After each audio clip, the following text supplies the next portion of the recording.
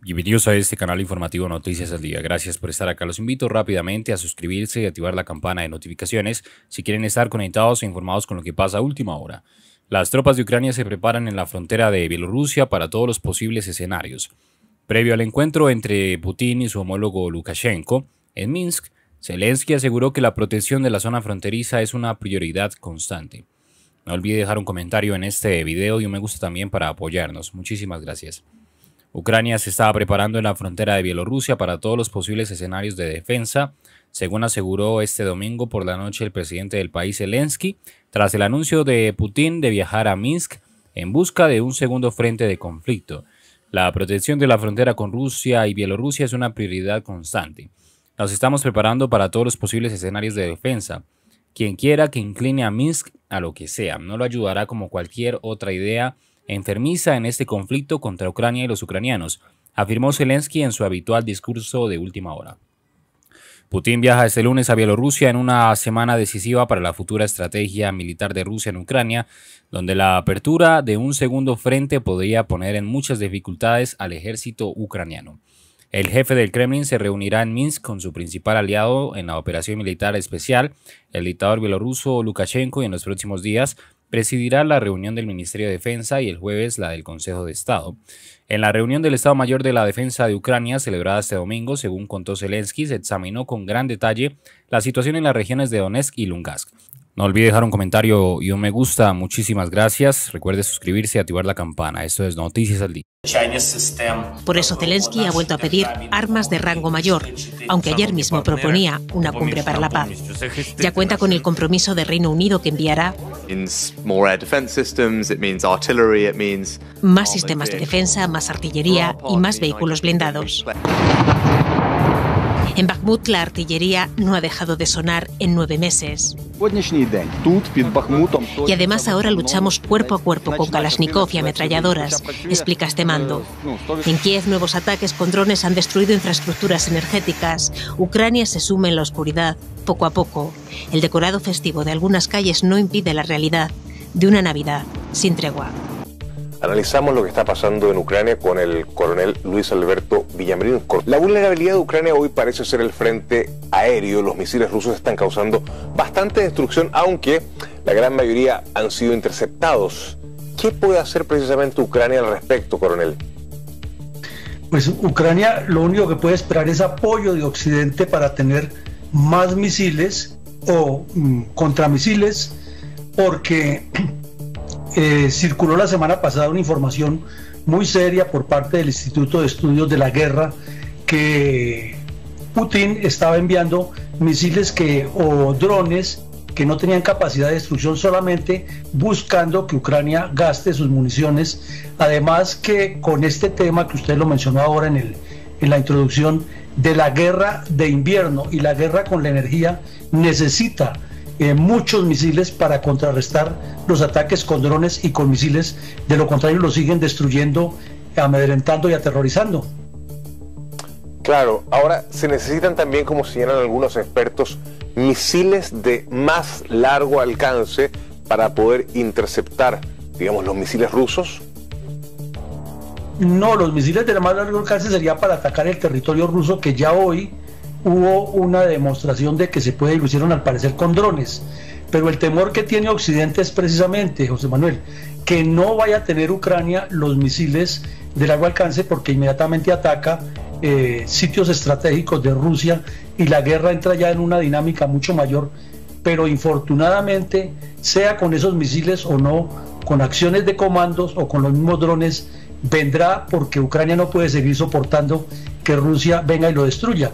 Entonces los misiles de largo alcance son para defenderse a largo alcance, no necesariamente para derribar misiles. Además, en, eh, digamos, en cuán profuso puede ser el lanzamiento de misiles para interceptar los rusos, la falta de luz y el agua, cuánto también podrían estar complicando las cosas, no sé, me pregunto en el ámbito terrestre o en otros ámbitos, en el tema de lo que es el, supply, el, el tema del acceso a a pertrechos, a acceso a logística en general?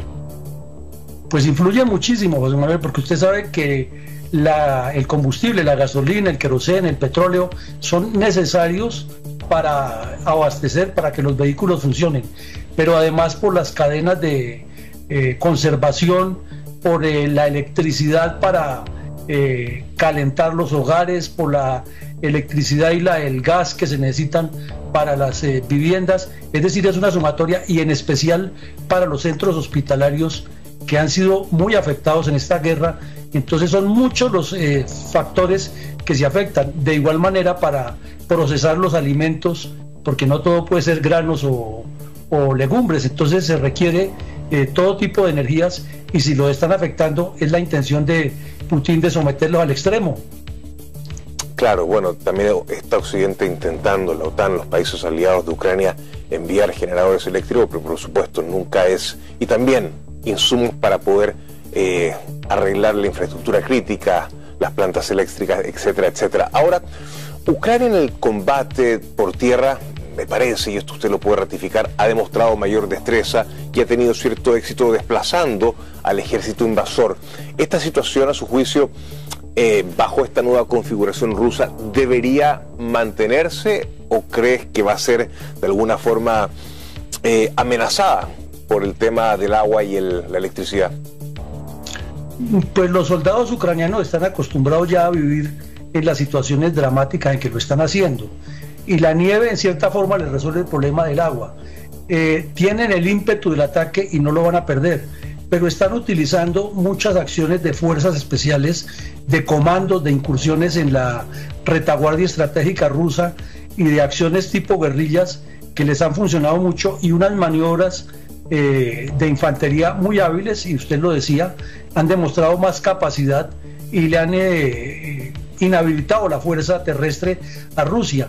El problema es el invierno que nos afecta a ambos bandos, pero más a Rusia, que va a tener problemas para el suministro de sus tropas adelantadas y allí podría sacar ventaja Ucrania. Entonces, probablemente el invierno hay una baja en las operaciones terrestres, pero no una suspensión total y sería más grave para Rusia. Nuestro director está mostrando en pantalla precisamente allí eh, las zonas que Ucrania ha ido recuperando de su propio territorio, aunque esto es una ironía, pero es una guerra. Y, es impresionante ver que, bueno, claro, este, eh, tenemos ahí a, una región todavía sur que se mantiene en cierto poder de los rusos, y Ucrania ha hecho avances bastante sustantivos. Y mi pregunta es, ¿cuántos recursos tiene Vladimir Putin para seguir costeando esta guerra? ¿Y qué desgaste político interno este conflicto le ha causado? Pues internamente ha perdido cierta preponderancia. Ah, ahí se han presentado algunas marchas y protestas, se le han presentado dificultades dentro del mismo esquema de gobierno, pero tiene una gran ventaja, es que tiene por medio de su sistema copiado de los catecismos soviéticos, controlada a toda la población y controlado el esquema de gobierno y las fuerzas militares.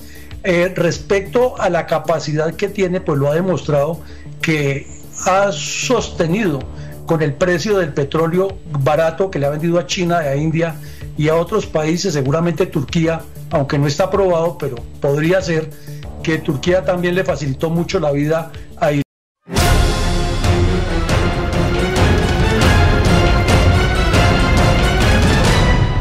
Si no te quieres perder de los últimos acontecimientos que pasan en el mundo, suscríbete y activa la campana. Somos Noticias al Día.